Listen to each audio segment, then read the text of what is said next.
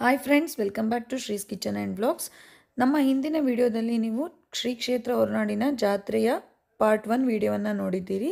ಈ ವಿಡಿಯೋದಲ್ಲಿ ನಿಮಗೆ ರಾತ್ರಿ ಆಗುವಂತಹ ಮಹಾರಥೋತ್ಸವ ಹಾಗೂ ಮರುದಿನ ನಡೆಯುವಂತಹ ಕಾರ್ಯಕ್ರಮ ಎಲ್ಲವನ್ನೂ ಇದರಲ್ಲಿ ನೋಡ್ಬೋದು.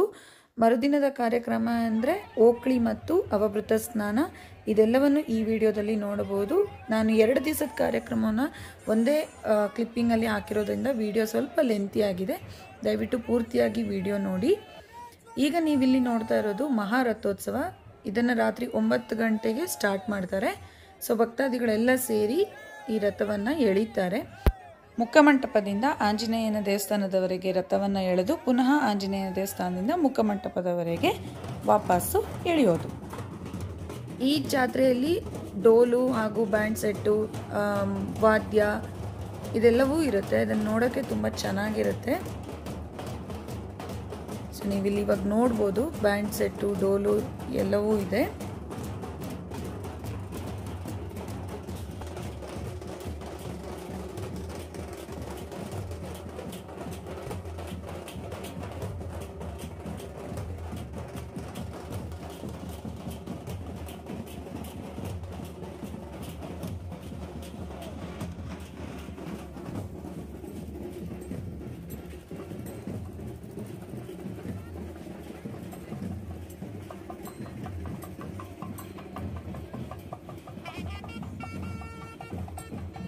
ಇದೀವಾಗ ಆಂಜನೇಯನ ದೇವಸ್ಥಾನದವರೆಗೆ ರಥವನ್ನು ಎಳೆದು ಇಲ್ಲಿ ತಂದು ನಿಲ್ಲಿಸಿದ ಮೇಲೆ ಆಂಜನೇಯನಿಗೆ ಮಂಗಳಾರತಿಯನ್ನು ಮಾಡಿ ಪುನಃ ಮುಖಮಂಟಪದವರೆಗೆ ರಥವನ್ನು ಎಳೆಯೋದು.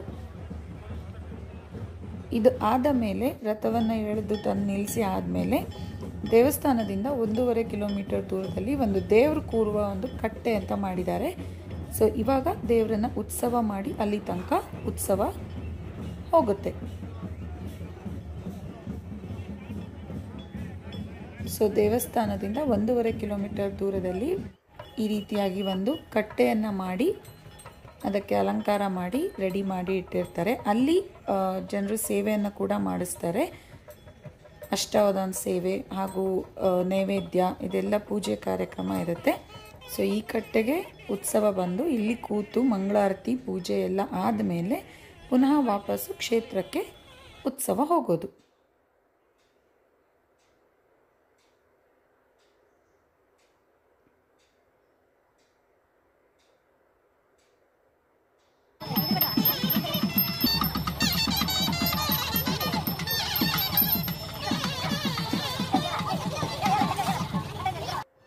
ಇಲ್ಲಿ ಕೂಡ ವಾಪಸ್ಸು ಉತ್ಸವದಿಂದ ಬರಬೇಕಿದ್ರೆ ಜನರು ಹಣ್ಕಾಯಿ ಮಾಡಿಸ್ತಾರೆ ಹೂವು ಆರತಿ ಎಲ್ಲವನ್ನು ಮಾಡ್ತಾರೆ. ಸೊ ಇದಾದ ಮೇಲೆ ಶ್ರೀ ಕ್ಷೇತ್ರಕ್ಕೆ ವಾಪಸ್ ಬಂದು ಒಳಸುತ್ತಿನಲ್ಲಿ ಸುತ್ತು ಉತ್ಸವ ಮಾಡಿ ದೇವರಿಗೆ ಕುಂಕುಮ ನೀರಿನಲ್ಲಿ ಆರತಿ ಮಾಡಿ ದೃಷ್ಟಿ ತೆಗೆದು ಕಾಯಿ ಒಡೆಯುವ ಪದ್ಧತಿ. ಇದಾದ ಮೇಲೆ ದೇವರನ್ನ ಗರ್ಭಗುಡಿಯಲ್ಲಿ ಕೂರಿಸೋದು.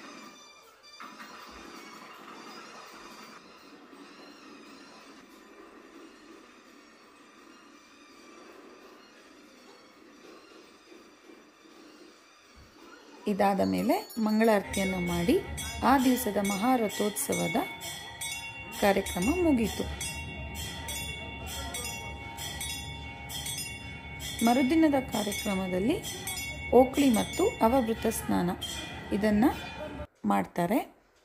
ಸೊ, ನೀವೀಗ ಇಲ್ಲಿ ನೋಡ್ತಾ ಇರೋದು ಮರುದಿನದ ಬೆಳಗಿನ ಪೂಜೆ. ಬೆಳಗ್ಗೆ ದೇವರನ್ನ ಈ ವಿಶೇಷ ಸಂದರ್ಭದಲ್ಲಿ ಮಾತ್ರ ಈ ರೀತಿ ದೇವರಿಗೆ ಕನ್ನಡಿಯಿಂದ ಬೆಳಕನ್ನು, ಸೂರ್ಯನ ಬೆಳಕನ್ನು ತೋರಿಸಿ ದೇವರನ್ನ ಹಾಡು ಹೇಳಿ ಎಬ್ಸುವ ಒಂದು ಪದ್ಧತಿ ಉಂಟು. ಇದು ಜಾತ್ರೆಯಲ್ಲಿ ಮಾತ್ರ ಮಾಡುವಂಥದ್ದು.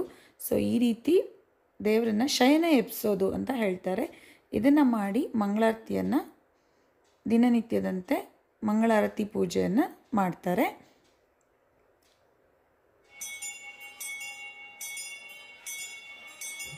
ಇದು ಮರುದಿವಸದ ಕಾರ್ಯಕ್ರಮ. ಸೊ ಇದು ಆದ ಮೇಲೆ ದೇವರು ಯಾಗಶಾಲೆಗೆ ಹೋಗ್ತಾರೆ. ಯಾಗಶಾಲೆ ಅಂದರೆ ಹೋಮ ಹವನ ಮಾಡುವಂತಹ ಜಾಗ. ಅಲ್ಲಿ ಜಾತ್ರೆಯ ಪ್ರಯುಕ್ತ ಒಂದು ಹೋಮವನ್ನು ಮಾಡ್ತಾರೆ. ಸೊ ದೇವರನ್ನು ಒಳ ಸುತ್ತಿನಲ್ಲಿ ಉತ್ಸವ ಮಾಡಿದ ಮೇಲೆ, ಯಾಗಶಾಲೆಗೆ ಹೋದ ಮೇಲೆ ಅಲ್ಲಿ ಹೋಮ ಆಗುತ್ತೆ.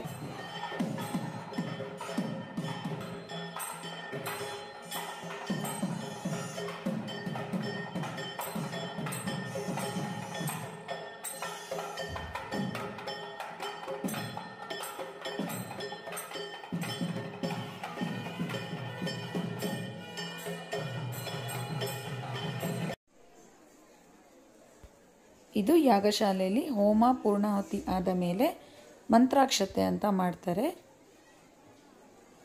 ಸೊ ನೀವಿಲ್ಲಿ ನೋಡ್, ನೋಡ್ಬೋದು, ಹೋಮ ಆಯಿತು. ಹೋಮ ಆದಮೇಲೆ ಮಂತ್ರಾಕ್ಷತೆ ಅಂತ. ಫಲಮಂತ್ರಾಕ್ಷತೆ ಕಾಯನ್ನು ಮತ್ತು ಅಕ್ಷತೆಯನ್ನು ಪ್ರಸಾದ ರೂಪದಲ್ಲಿ ಕೊಡ್ತಾರೆ. ಇದಾದ ಮೇಲೆ ಈ ದಿವಸ ದೇವರು ರಥಬೀದಿಯಲ್ಲಿ ಹೋಗಿ ಬಳೆ ಇಡ್ಸ್ಕೊಂಡು ಬರುವಂತಹ ಒಂದು ಶಾಸ್ತ್ರ. ಸೊ ದೇವರು ಉತ್ಸವ ಹೋಗಿ ಎಲ್ಲರೂ ಬಳೆ ಇಡಿಸೋದು ಹೂ ಹಾಕೋದು ಈ ಪದ್ಧತಿ ಮೊದಲಿಂದಲೂ ಇದೆ. ಈ ರ ಬಳೆ ಇಡಿಸುವ ಒಂದು ಕ್ರ ಪದ್ಧತಿ. ಇದಾದ ಮೇಲೆ ವಾಪಸ್ಸು ಕ್ಷೇತ್ರಕ್ಕೆ ಬಂದ ಮೇಲೆ ಓಕ್ಳಿ ಆಡುವಂತಹ ಒಂದು ಪದ್ಧತಿ ಇದೆ. ಈ ದಿವಸ ಜಾತ್ರೆಯ ದಿವಸದಲ್ಲಿ ಮಹಾರಥೋತ್ಸವದ ಮರು ದಿವಸ ಮಧ್ಯಾಹ್ನ ಊಟದ ವ್ಯವಸ್ಥೆ ಇರೋದಿಲ್ಲ. ಫಲಹಾರ ಇರುತ್ತೆ. ಯಾಕಂದರೆ ಓಕ್ಳಿ ಮತ್ತು ಅವಭೃತ ಸ್ನಾನ ಆದ ಮೇಲೆ ಸಂಜೆ ಊಟ ಇರ್ತದೆ. ಸೊ ಹಾಗಾಗಿ ಈ ದಿವಸದಲ್ಲಿ ಮಾತ್ರ ಮಧ್ಯಾಹ್ನದ ಊಟದ ಬದಲಿಗೆ ಫಲಹಾರ ಇರುತ್ತೆ. ಹಾಗೂ ಈ ದಿವಸದ ವಿಶೇಷ ಏನಂದರೆ, ಇಲ್ಲಿ ಅವಭೃತ ಸ್ನಾನ ಅಂದರೆ ತೀರ್ಥ ಸ್ನಾನ, ದೇವರನ್ನು ಹಿಡ್ಕೊಂಡು ತೀರ್ಥ ಸ್ನಾನವನ್ನು ಎಲ್ಲರಿಗೂ ಮಾಡುವ ಅವಕಾಶ ಇರುತ್ತೆ. ಸೊ ಇದು ಇವಾಗ ಓಕ್ಳಿಗೆ ರೆಡಿ ಆಗ್ತಾ ಇರೋದು. ದೇವರಿಗೆ ಪೂಜೆ, ಮಂಗಳಾರತಿ ಮಾಡಿ ದೇವರ ಎದುರಿಗೆ ಓಕ್ಳಿ ಆಡುವ ಪದ್ಧತಿ. ಕುಂಕುಮದ ನೀರನ್ನು ಎಲ್ಲರೂ ಫಸ್ಟು ತಲೆಗೆ ಸ್ವಲ್ಪ ಹಚ್ಕೊಂಡು, ಆಮೇಲೆ ಎಲ್ಲ ಸೇರಿ ಓಕ್ಳಿಯನ್ನು ಆಡ್ತಾರೆ. ಹಾಗೂ ಇಲ್ಲಿ ಜಾತ್ರೆ ಮಹೋತ್ಸವದಲ್ಲಿ ಓಕ್ಳಿ ದಿವಸ ಮಕ್ಕಳಾಗದೇ ಇರೋರಿಗೆ ಹಾಗೂ ಮದುವೆ ಆಗದೇ ಇರುವಂಥ ಹೆಣ್ಣು ಮಕ್ಕಳಿಗೆ ಪೂಜೆಯನ್ನು ಮಾಡಿಸಿ ಅವಭೃತ ಸ್ನಾನ ಮಾಡಿಸಿ ಕಂಕಣ ಕಟ್ಟೋದ್ರಿಂದ ಅದು ನೆರವೇರುತ್ತೆ ಅನ್ನೋ ಒಂದು ಪದ್ಧತಿ ಇದೆ. ಹಾಗೂ ಇದು ಆಗಿದೆ ಕೂಡ. ಈ ದಿವಸ ಓಕ್ಲಿ ಆಡಿದ ಮೇಲೆ ಅವಭೃತ ಸ್ನಾನಕ್ಕೆ ಹೋದಾಗ ಅಲ್ಲಿ ಪೂಜೆ ಆದ ಮೇಲೆ ಕಂಕಣವನ್ನು ಕಟ್ಟಿಸ್ತಾರೆ. ಸೊ, ನೀವಿಲ್ಲಿ ನೋಡ್ಬೋದು ಎಲ್ಲರೂ ಎಷ್ಟು ಚೆನ್ನಾಗಿ ಓಕ್ಲಿ ಆಡ್ತಾ ಇದ್ದಾರೆ ಅಂತ. ಬಂದಂಥ ಭಕ್ತಾದಿಗಳಿಗೆಲ್ಲರಿಗೂ ನೀರನ್ನು ಹಾರಿಸ್ತಾರೆ. ಓಕ್ಲಿ ಆದಮೇಲೆ ಫಲಹಾರ ಮಾಡಿದ ಮೇಲೆ ಈಗ ಅವಭೃತ ಸ್ಥಾನಕ್ಕೆ ಹೋಗ್ತಾ ಇರೋದು. ಅವ, ಅದು ಆಗೋದು ದೇವಸ್ಥಾನದಿಂದ ಒಂದು ಎರಡೂವರೆ ಕಿಲೋಮೀಟರ್ ದೂರದಲ್ಲಿ ಕನ್ನರ್ಗುಂಡಿ ಅಂತ ಇದೆ. ಅಲ್ಲೊಂದು ಸಣ್ಣ ಜರಿ ಹರಿಯುತ್ತೆ. ಅಲ್ಲಿ ಹೋಗಿ ಅವಭೃತ ಸ್ನಾನವನ್ನು ಮಾಡೋದು.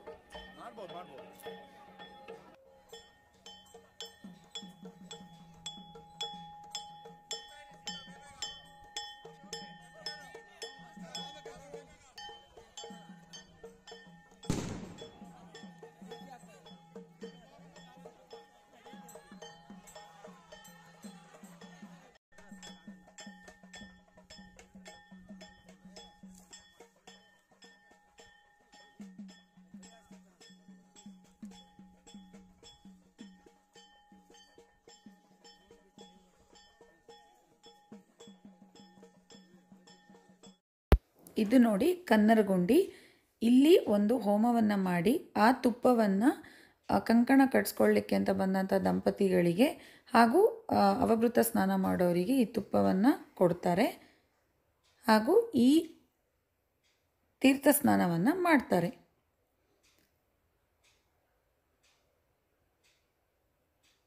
ಒಂದು ಸಣ್ಣ ಹೋಮ ಮಾಡ್ತಾರೆ ಇಲ್ಲಿ. ಹೋಮ ಆದಮೇಲೆ ಎಲ್ಲರಿಗೂ ಈ ರೀತಿ ತುಪ್ಪವನ್ನು ಕೊಡ್ತಾರೆ.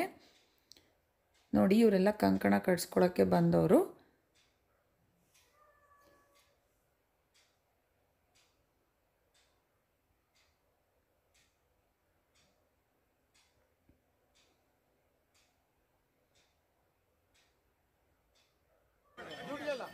ಇದಾದ ಮೇಲೆ ದೇವರನ್ನ ಫಸ್ಟು ಆ ಜರಿಯಲ್ಲಿ ಹಿಡಿದು ಆ ಅದೇ ನೀರಿನಿಂದ ಎಲ್ಲರಿಗೂ ತೀರ್ಥ ಸ್ನಾನ. ಈ ಪದ್ಧತಿ ಸಾಮಾನ್ಯವಾಗಿ ಎಲ್ಲೂ ಇಲ್ಲ. ನೋಡಿ ಇಲ್ಲಿ ದೇವ್ರನ್ನ ಇಟ್ಕೊಂಡಿದ್ದಾರೆ. ಹಾಗೂ ಎಲ್ಲರಿಗೂ ಆ, ನೀರಿನ ಕೆಳಗೆ ಕೂರಿಸಿ ನಿಮ್ಗೆ ಇಲ್ಲಿ ಕಾಣುತ್ತೆ ಅರ್ಚಕರ ಮೇಲೆ ದೇವರನ್ನ ಇಟ್ಕೊಂಡಿದ್ದಾರೆ. ಈ ರೀತಿ ತೀರ್ಥ ಸ್ನಾನವನ್ನು ಮಾಡ್ತಾರೆ. ಸೊ ಈ ಥರ ತೀರ್ಥ ಸ್ನಾನ ಆದಮೇಲೆ ಪೂಜೆ ಮಂಗಳಾರತಿ ಪ್ರಸಾದ ಎಲ್ಲ ಆದಮೇಲೆ ಯಾರು ಕಂಕಣ ಕಟ್ಸ್ಕೊಳ್ಳೋಕ್ಕೆ ಬಂದಿರ್ತಾರೋ ಅವರಿಗೆ ಪ್ರಾರ್ಥನೆ ಮಾಡಿಸಿ ಕಂಕಣವನ್ನು ಕಟ್ಟಿಸ್ತಾರೆ. ನೋಡಿ ಇಲ್ಲಿ ಧರ್ಮಕರ್ತರು ಅವರಿಗೆ ಪ್ರಸಾದವನ್ನು ಕೊಟ್ಟು ಕಂಕಣವನ್ನು ಕೊಡ್ತಾ ಇದ್ದಾರೆ.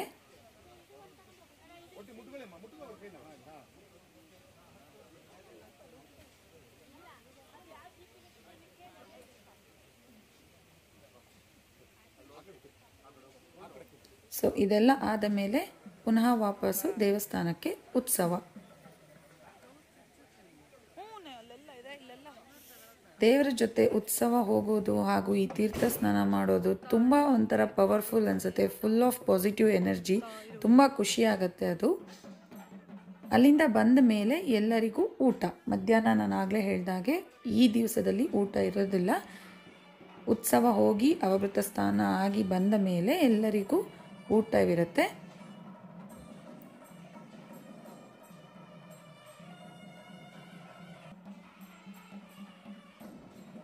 ಈಗ ದೇವರನ್ನ ಹೊರಗಡೆ ಹೊರ ಹೊರಸುತ್ತಿನಲ್ಲಿ ಇರುವಂತಹ ಒಂದು ಪೀಠದಲ್ಲಿ ಕೂರಿಸಿರ್ತಾರೆ. ಓಕ್ಳಿ ಹಾಗೂ ಅವೃತ್ತ ಸ್ನಾನ ಆದಮೇಲೆ ಇದು ಉರುಡುಗಾಯಿ ಸೇವೆ ಅಂತ ಈ ರೀತಿ ತೆಂಗಿನಕಾಯನ್ನು ಹಾರಿಸಿ ಅದನ್ನು ಅವರು ಹಿಡಿದು ತೊಗೊಂಬಂದು ದೇವ್ರ ಮುಂದೆ ಒಡೆಯುವಂಥದ್ದು.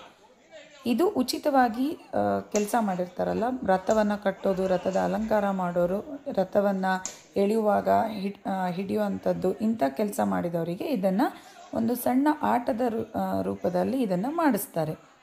ಈ ರೀತಿ ಕಾಯನ್ನು ಹಾರಿಸಿ ಅವರು ಅದನ್ನು ಹಿಡಿದು ತೊಗೊಂಬಂದು ಒಡೆಯುವಂಥದ್ದು. ಈ ಉರುಡುಗಾಯಿ ಸೇವೆ ಆದಮೇಲೆ ದೇವರಿಗೆ ಮಂಗಳಾರತಿಯನ್ನು ಮಾಡಿ ಪುನಃ ಒಂದು ಉತ್ಸವ ಹೋಗಿ ಬಂದ ಮೇಲೆ ಧ್ವಜ ಬಿಚ್ಚುವ ಕಾರ್ಯಕ್ರಮ.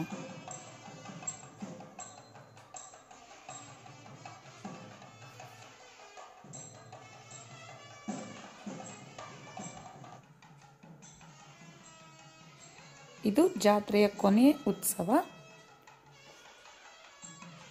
ದೇವರು ರಥಬೀದಿಯಲ್ಲಿ ಉತ್ಸವ ಹೋಗಿ, ಮಂಜಿನಕಟ್ಟೆ, ಅಂದರೆ ಆಂಜನೇಯನ ದೇವಸ್ಥಾನದ ತನಕ ಉತ್ಸವ ಹೋಗಿ, ಪುನಃ ವಾಪಸ್ಸು ಬಂದ ಮೇಲೆ ಧ್ವಜವನ್ನು ಬಿಚ್ಚುವ ಒಂದು ಕ್ರಮ. ಈ ಧ್ವಜವನ್ನು ಮೊದಲನೇ ದಿವಸ ಕಟ್ಟಿರ್ತಾರೆ. ಉತ್ಸವ ಹೋಗಿ ಬಂದ ಮೇಲೆ ಧ್ವಜಕ್ಕೆ ಪೂಜೆ ಮಾಡಿ ಈ ಧ್ವಜವನ್ನು ಬಿಚ್ಚುವಂಥದ್ದು.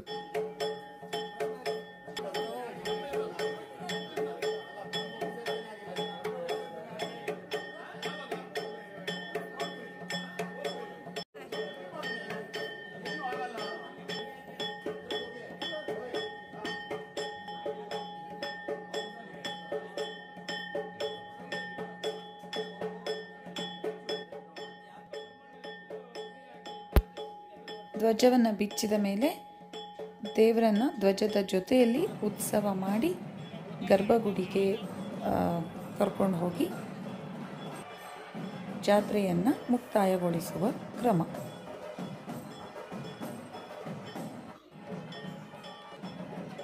ಇಲ್ಲಿ ದೃಷ್ಟಿಯನ್ನು ತೆಗೆಯುವಂತಹ ಒಂದು ಕ್ರಮ. ಕಾಲು ತೊಳೆದು ಕುಂಕುಮ ನೀರಿನಲ್ಲಿ ಆರತಿ ಎತ್ತಿ ಕಾಯನ್ನು ಒಡೆದು ತೆಂಗಿನಕಾಯನ್ನು ಸುತ್ತುವರಿಸಿ ಒಡೆದ ಮೇಲೆ ಈ ರೀತಿ ದೇವರ ಒಳಗೆ ಬಂದು ಗರ್ಭಗುಡಿಯಲ್ಲಿ ಸ್ವಸ್ಥಾನದಲ್ಲಿ ಉತ್ಸವ ಮೂರ್ತಿಯನ್ನು ಇಟ್ಟು ಜಾತ್ರೆಯನ್ನು ಮುಕ್ತಾಯಗೊಳಿಸುವುದು. ಒಂದು ಮಂಗಳಾರತಿ ಪೂಜೆಯನ್ನು ಮಾಡಿದ ಮೇಲೆ ಜಾತ್ರೆಯನ್ನು ಮುಕ್ತಾಯಗೊಳಿಸುವುದು. ನಿಮಗೆ ಈ ವಿಡಿಯೋ ಹಾಗೂ ನನ್ನ ಹಿಂದಿನ ವಿಡಿಯೋ ಇಷ್ಟ ಆಗಿದೆ ಅಂತ ಅಂದ್ಕೊಳ್ತೀನಿ ಹಿಂದಿನ ವಿಡಿಯೋ ನೋಡಿಲ್ಲ ಅಂದರೆ ಅದರ ಲಿಂಕನ್ನು ಹಾಕಿರ್ತೀನಿ. ಅದನ್ನು ಕೂಡ ನೋಡ್ಕೊಳ್ಬೋದು. ಈ ವಿಡಿಯೋ ಇಷ್ಟ ಆದಲ್ಲಿ ನಿಮ್ಮ ಫ್ರೆಂಡ್ಸ್ ಫ್ಯಾಮಿಲಿಯವರಿಗೆ ಶೇರ್ ಮಾಡಿ ಹಾಗೂ ಲೈಕ್ ಮತ್ತು ಕಮೆಂಟ್ ಮಾಡಿ. ಮುಂದಿನ ವಿಡಿಯೋದಲ್ಲಿ ಪುನಃ ಸಿಗ್ತೀನಿ. Till then take care thank you for watching friends bye